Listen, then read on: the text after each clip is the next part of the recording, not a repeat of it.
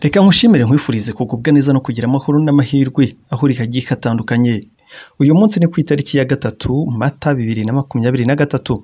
Nk'uko bibona kuri ayo mafoto urabona ko umunyamaba umujyanama wa generali sultani makenga oreste arimo atembereza ingabo z'u Burundi ziri mu butumwa bwo kugarura amahoro muri repubulika ya demokarasi ya kongo bwa EAC Region Force arimo abatembereza abageza mu bice anabereka aho bagomba gushyira ibirindiro byabo mu bice bya Kicanga ndetse na Mweso.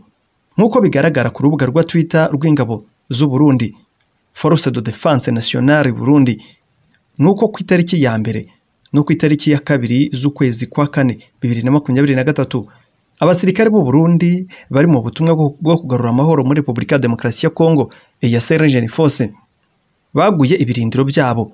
Bakajyana abasirikare babo bashya muri pozisiyo ya Kicanga na Mweso. Mu rwego rwo kugira ngo bacungire umutekano abaturage bahari ndetse abaturage bahari batekane bisanzure babeho mu mutuzo nk'uko babimenyerejwe n'intare za M23. Ibi byose bibaye mu rwego rwo kubahiriza imyanzuro ya Rwanda. Imyanzuro y'inama yahuje abakuru b'ibihugu byo muri Afurika y'Iburasirazuba.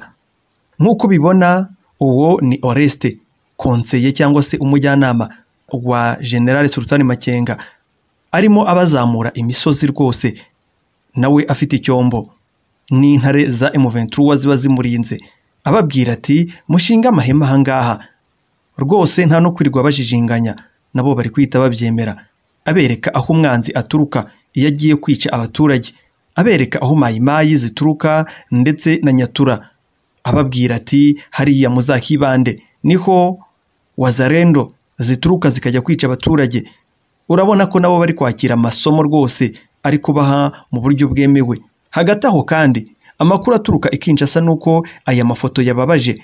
Abasirikare ba Repubulika ya Demokarasi ya Kongo ndetse na leta ya Kinshasa muri rusange kubera umubano mwiza uri hagati y'izi ngabo za EAC ndetse n'abasirikare hamwe n'abayobozi ba M23. Ntabwo biyumvisha ukuntu umujyanama wa General Sultani Makenga ari we utembereza ibice byose. Aba basirikare b'u Burundi akabereka aho bashinga amahema rwose ngo byabababaje. Ibi kandi bije bibakorogoshora nyuma y'uko M23 ihuje urugwiro n'ingabo za Uganda muri Bunagana bakabasigira ibyo bice. Ndetse ingabo za Repubulika ya Demokarasi ya Kongo zagerageza kuhagana cyane ko zimaze amezi agera mu munani zitanutse ubuzuru. Zagerageza kwerekezayo bakabaha agasopo bakabasubiza inyuma kibuno mpamaguru bakagenda babinza amabinga ibyo byose ni byo bikomeje kubabaza Repubulika Demokarasi ya Kongo. Nta kundi banze kumvikana na bene wabo nibemere abanyamahanga babategeke mu gihugu cyabo banakibayoborane. Ngayo nguko ngira ngo urabona ko abasirikare ba M23 bahagaze bwuma ndetse rwose baryohewe nuko babayeho. Nubwo kandi bimeze gutyo ntabwo M23 irasohoka muri Kicanga na Mweso. Gusa yahashyize abasirikare irateganya gusohoka gisirikare nk'intare nk'ibisanzwe kuko ntawe umenya uko M23 yasohotse. Ibi kandi bikaba bikomeje kwemerwa ndetse bikanashimwa cyane. Na Kenyatta ukomeje gushimira M23 aho akomeje kugaragaza ko ari ku ruhande rwayo cyane. Uhuru Kenyatta ngo yaciye amarenga yemeza yuko muri Kivu y'Amajyaruguru n'Iyepfo. Rwose ubu ngubu intambara zigiye kuhacika burundu. Uwahoze ari perezida wa Kenya akaba n'umuhuza w'impande zikanganye mu ntambara z'urudaca mu burasirazuba bwa Repubulika ya Demokarasi ya Kongo Bwana Uhuru Kenyatta. Yatangaje ko mu burasirazuba bwa Kongo Kinshasa amahoro yagarutse. Uhuru Kenyatta umuhuza w'amahoro washyizweho n'umuryango wa Afurika y'Iburasirazuba yavuze ko nyuma y'inama nyuma y'inama eshatu zahuje abaperezida bagize ibihugu bihuriye mu muryango wa Afurika y'Iburasirazuba zerekeye umutekano mu burasirazuba bwa Repubulika ya Demokarasi ya Kongo. Kubera izo nama intambara zimaze guhagarara mu ntara ya Kivu y'Epfo. Ati kandi ibitero bimaze guhagarara mu ntara ya Kivu y'Amajyaruguru. Uhuru Kenyatta ati gusa hari ibice bigiteye impungenge. Avuga ko ingamba zo gutanga ubufasha mu kugarura umutekano mwiza mu bantu bagiye bahura n'intambara ku butaka bwa Kongo Kinshasa mu ntara ya Kivu zombi kuri none. Avuga ko biri kugenda neza. Ikindi yavuze ni uko ingabo zo mu muryango wa Afurika y'Iburasirazuba zamaze gukambika mu mijyi n'ibice. Byarimo ibirindiro bya M23 M23 yemeye kurekura. Ikindi ni uko yavuze ko hari gahunda zirimo gutegurwa kugira ngo hategurwe inama cyangwa ibiganiro bizafasha abarebwa abarebwa bose n'amakimbirane ari muri aka karere. Muri ibyo biganiro kazazamo n'impuguke ziturutse mu mahanga. Kugira ngo karebwe uburyo bwo gushakira igisubizo cyiza abarwana mu burasirazuba bwa repubulika ya demokarasi ya kongo.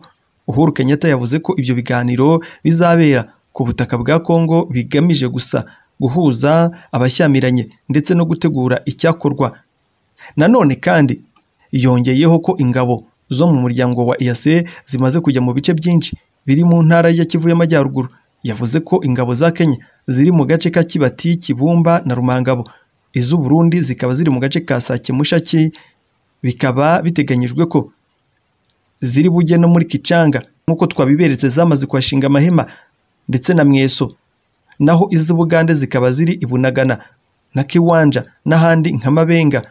Intambara mu burasirazuba bwa Repubulika ya Demokarasi ya Kongo ikaba imaze imyaka irenga makumyabiri iki gihugu kikaba kibarizwamo imitwe y'inyeshyamba irenga magana abiri. Gusa biracyateye urujijo nubwo bivugwa gutya n'aba bayobozi. Nubwo bivugwa gutya n'aba bayobozi. Biragoye cyane ko amahoro azagaruka mu gihe Repubulika ya Demokarasi ya Kongo ikomeza kunga ubumwe n'imitwe yitwaje intwaro itandukanye ndetse ikaba yaranazihaye imbunda n'ibindi bikoresho bikenewe mu ntambara. Ku buryo rwose usibye ahazaba hari muri zone tampo nk'aho M23 imaze kurekura hari higanje abaturage baho naho ahandi rwose nta kizabuza amakimbirane no kwicwa kw'abaturage.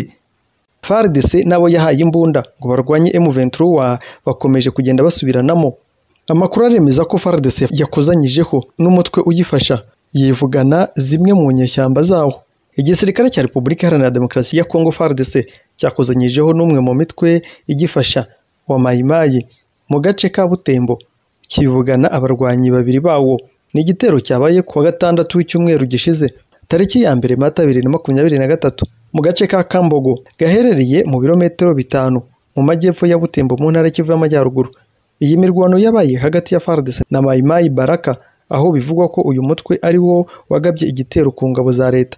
Umuvugizi w'urwego rukora ibikorwa bya Sokora ya mbere Granol Kapiteni Antoni Mushalayi arashinja urubyiruko rwo mu mutwe w'igitutu Velanda Mutsanga kuba rwifatanyije n'abateye muri iki gitero. Kapiteni Antoni Mushalayi arahamagarira urubyiruko rwose rwo mu karere kwitandukanya n'imitwe yitwaje intwaro. Yagize ati mu kugenzura bimwe mu byasizwe n'abarwanyi twasanze bamwe mu bagize umutwe w'abenegihugu. Velanda Mutsanga batekereza ko ari byiza gushyigikira uyu mutwe w'inyeshyamba gutangira kwibasira inzego z'umutekano kugarura intwaro no gutangira kongera kubiba umutekano muke muri kariya gace dushinzwe.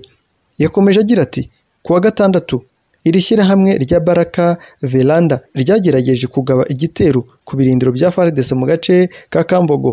Yavuze ko ingabo za FARDC zivuganye abarwanyi babiri b'uyu mutwe kandi zifata imbunda ebyiri z'intambara zo mu bwoko bwa AK-47